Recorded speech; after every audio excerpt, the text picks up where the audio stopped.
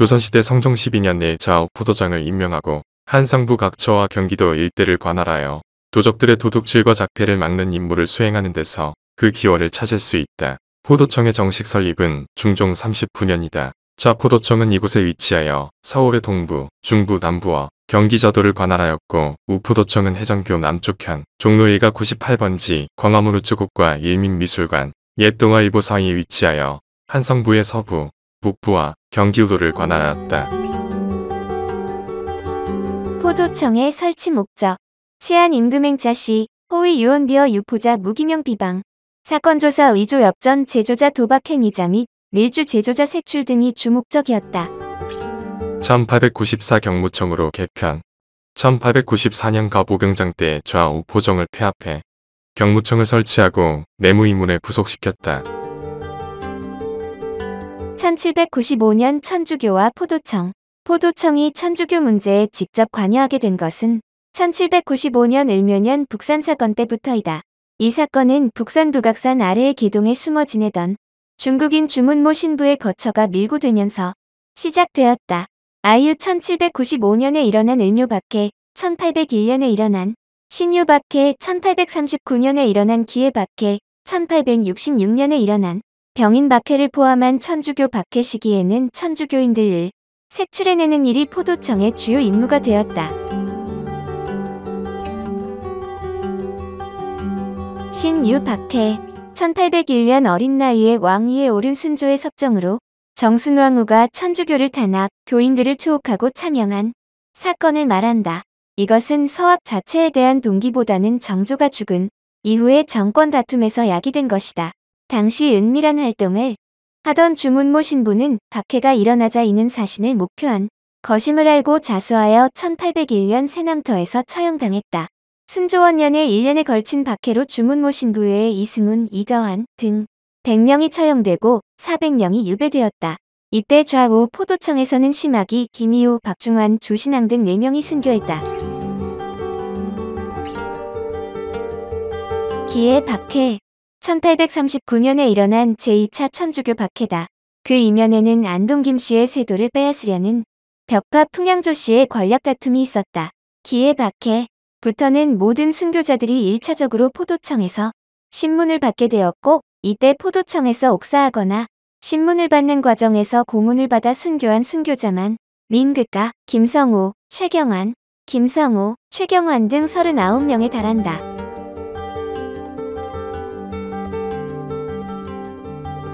병호박해 1846년 병호박해는 김대건 신부의 체포를 계기로 일어난 천주교 박해다. 그는 한국인 처음으로 사제 서품을 받은 신부였다. 병호박해 때 포도청에서 순교한 순교자는 7명이며 이중 남경문과 임치백은 좌포도청으로 순교지가 명시되어 있다.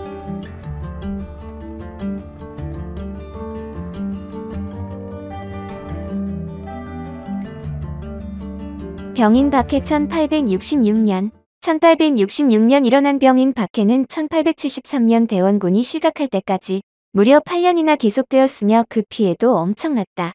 이때 포도청에서 순교한 순교자는 252명에 달하며 이는 병인 박해기에 와서 천주교 신자들을 체포하고 신문하고 처형하는 포도청의 역할이 크게 강화되었다는 것을 알 수 있다.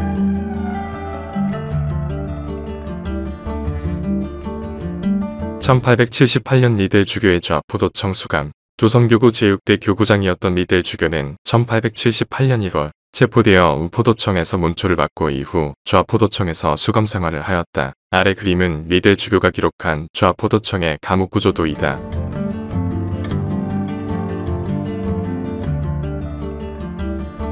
(1898년) 좌포도청에서 순교한 동학인 해월 최시영 1898년 동학 제2세 교조였던 해월 최시영이 이곳 좌 포도청 교영장에서 순교하였다. 최시영은 경전간행과 교단 정비에 혁혁한 공을 이르고 당시 약자인 여성과 어린이의 위상을 제자리에 찾게 해주었을 뿐만 아니라 하늘, 땅 만물이 함께 어우러져 사는 생태적 삶을 가르쳐준 인물이었다.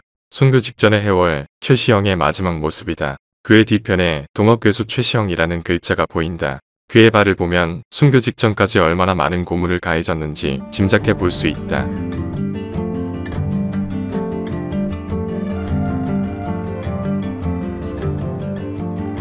1898년 저포도청에서 순교한 동학인 해월 최시영 1898년 동학 제2세 교조였던 해월 최시영이 이곳 저포도청 교영장에서 순교하였다. 최시영은 경전 간행과 교단 정비의 혁혁한 공을 이루고 당시 약자인 여성과 어린이의 위상을 제자리에 찾게 해주었을 뿐만 아니라 하늘, 땅 만물이 함께 어우러져 사는 생태적 삶을 가르쳐준 인물이었다. 순교 직전의 해월 최시영의 마지막 모습이다. 그의 뒤편에 동업괴수 최시영이라는 글자가 보인다. 그의 발을 보면 순교 직전까지 얼마나 많은 고문을 가해졌는지 짐작해 볼 수 있다.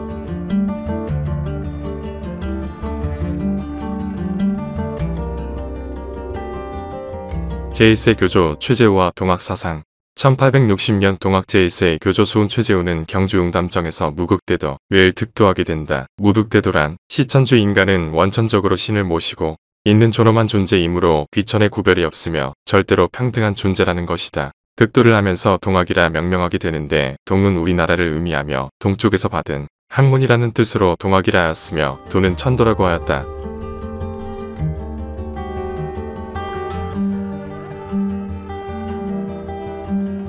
의암 손병희, 동학에서 천도교로 개칭, 3.1운동 민족 대표 33인 중의 한 사람인 의암 손병희는 최시영을 만나 수제자가 되었고 1세 교조 수훈 최재우가 1864년 관에 잡혀 참수를 당한 데 이어 1898년 2세 교조 해월 최시영마저 처형을 당하자 법통을 이은 3세 교조가 되었다.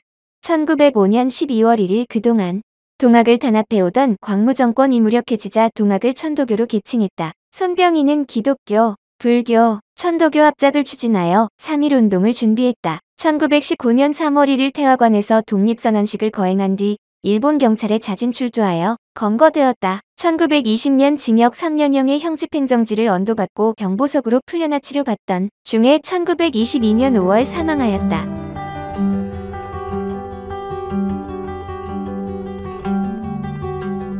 단성사 조선인 극장 단성사의 탄생 1907년 6월 4일 동대문 박영도사 대원암의 배우들을 비롯한 많은 사람들이 모여들었다. 경성의 실업가 지명근, 박태일, 주수영이 그들을 소집하여 단성사 발기 대회를 열었던 것이 단성사의 시작이다. 힘을 모아 뜻을 이루자는 뜻의 단성사는 배우들에게 활동 무대를 제공하고 공연으로 벌어들인 수익금으로 활발한 복지 사업을 펼쳤다. 폐교 위기에 몰린 야학이나 고아원 등의 기부금을 기탁하고 폭풍 후 피해를 입은 서민들을 위한 성금, 모금에 앞장섰다.